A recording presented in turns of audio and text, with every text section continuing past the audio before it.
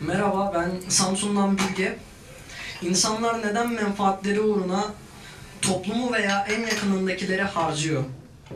İşte güzel yüzlüm egoistik bencillik insanı mahveden çok büyük bir beladır. Diyor ki ne var egoistik? Ya kardeşim egoist olduğunda decale döner o adam.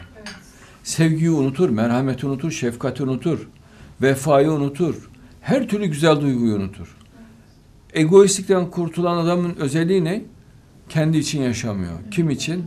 Allah için ve sevdikleri için yaşıyor. Bu, bu insana biz kabadayı deriz. Bu asil insandır. Bu tutkuyu da yaşar, sevgiyi de yaşar. Güzel insandır. Her yerde güzeldir. Ama egoist her türlü ahlaksızlığı yapar. Küser, darılır, kızar, bağırır, çağırır.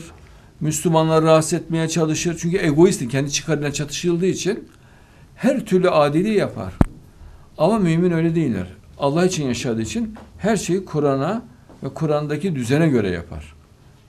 Allah'ın rızasıdır onun tek amacı, tek ülküsü, inancı Allah'ın rızası olur.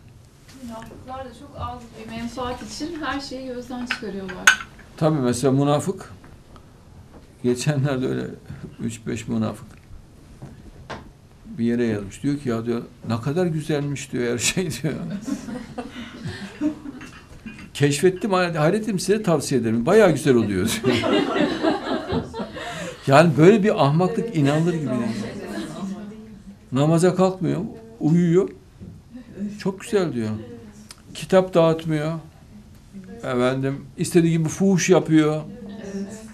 İstediği gibi şarap içiyor. Baya güzelmiş ya diyor. Egoistlik yapıyor, bencillik yapıyor, küfrediyor, ahlaksızlık yapıyor, hırsızlık yapıyor, soygun yapıyor. Çok güzelmiş diyor.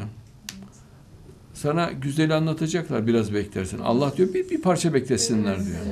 Az bir şey diyor.